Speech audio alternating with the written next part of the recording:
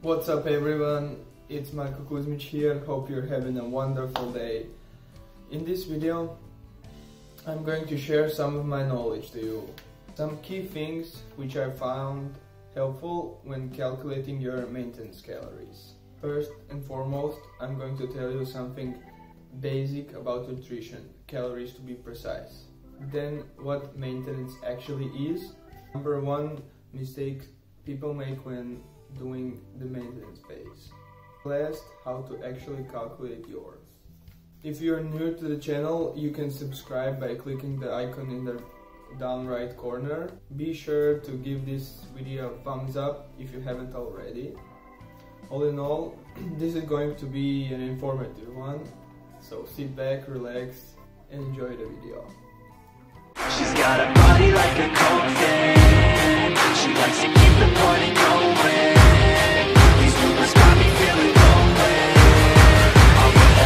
baby, show me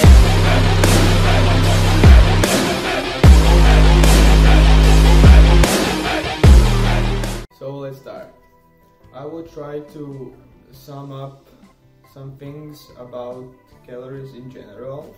Calories can be consumed uh, from protein, carbohydrate, and fats.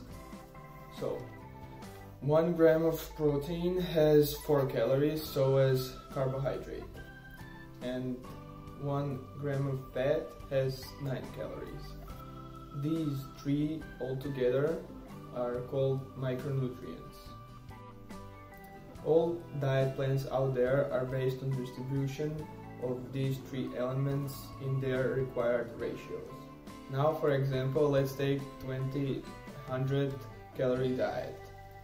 So uh, you can take 600 calories from 150 grams of protein. You can take 800 calories from 200 grams of carbohydrates, and you can take the remaining uh, 600 calories yeah, 600 calories from 67 grams of fat uh, this is also called counting macros or tracking macros if you didn't know now I will tell you some examples for food uh, in food high in each of these macronutrients Foods high in protein are mainly eggs, all kinds of meat, and fish. So, for example, pork, chicken, salmon, cod, and so on.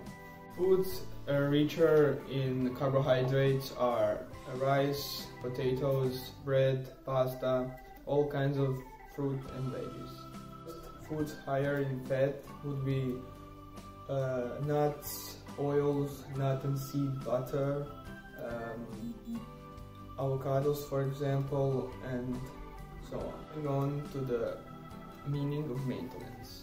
So I want to talk to you guys about the word maintenance.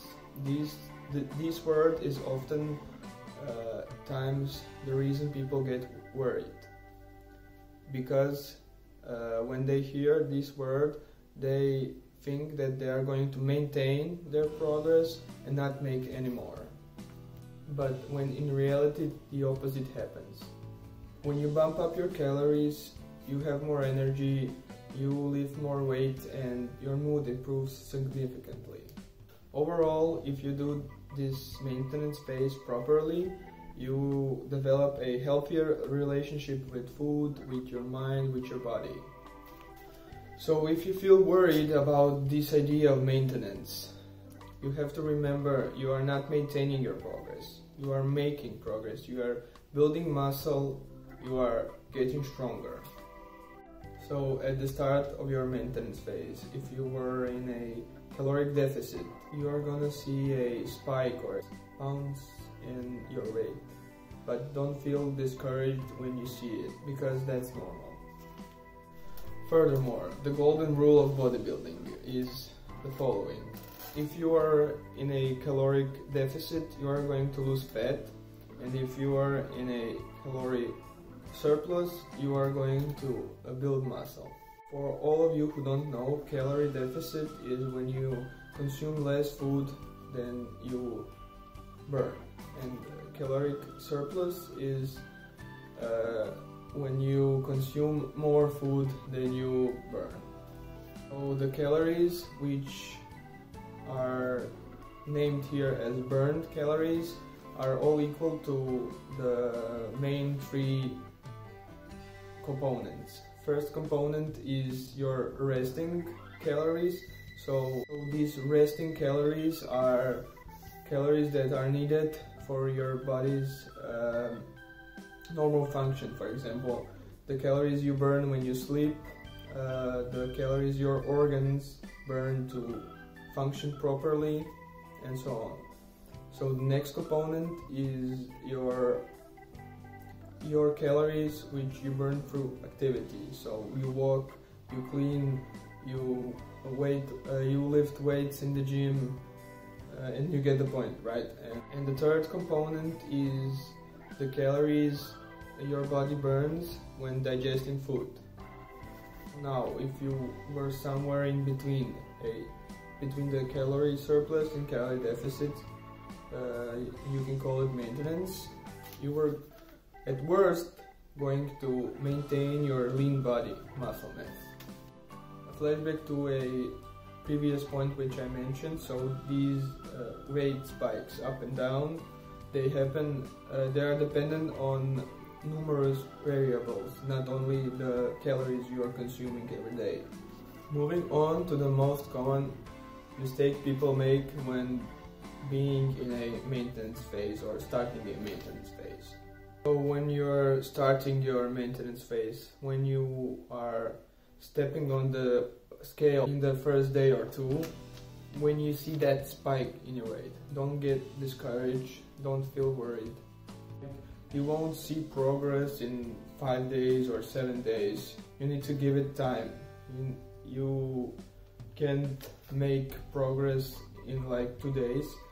Let's take for example, if you're if you were going to play a piano, you won't get good at playing piano in just five days. You need to play continually, like for four months, eight months, a whole year.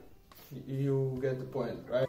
So, for example, if you are jumping from bulking to cutting to maintenance to cutting to bulking, uh, you won't make any progress either because you are just trying to do all of these things at once and you are not doing the one thing at a time. You are not focusing on one thing. So my advice to you is that you at least at least stick to it for 30 days. Like that is the minimum to see any progress made. Did it for like 30 days, uh, you see how it went and what to do next. If you are going to keep maintaining or maybe cut or maybe bulk, but give it at least 30 days. You have to commit to being consistent. Nothing, nothing's gonna fall from a tree for you. You need to understand that. Therefore, the main topic of this video, how to actually calculate your maintenance calories. Before starting this topic, I just want to talk to you that I'm going to post a upper workout on my Instagram. I will link it here or here so you can follow me there and check it out if you're interested. There isn't a single calculator on the internet or somewhere else in the encyclopedia or a book that is going to calculate your maintenance calories precisely. It just doesn't exist. Since there are numerous variables uh, in consideration when calculating your calories like sleep, uh, stress, daily activity and so on. Now I will give you a way how to actually calculate yours. I think this one is the easiest but it's not the quickest. So take your body weight in pounds and multiply it by 14. That's it. Video over. See ya. I'm just kidding. No. Take your body weight in pounds and multiply it by 14. You get a general idea or general number like 240 calories. I know. To 2400 calories. Now this will be a rough estimate of your maintenance calories. It's not going to pre be precise either, like no one can calculate your precisely. What to do next? You eat that amount of calories for the next two or three weeks and you see if you are losing weight, if you are gaining weight or you are maintaining your weight. You take your first week's average and your second week's average and you see if you gained a little bit of weight and if you gained a lot of weight. If you lost a little bit of weight and if you lost a larger amount of weight. Let's take for example, you gained 5 pounds in 2 weeks. So you decrease your calories by a larger amount, like 2 or 300 calories, your daily calories. And you plug and play with those calories from them. Uh, if you lost, for example, one pound, you just increase your calories by a smaller amount, like 50 to, to 100 calories.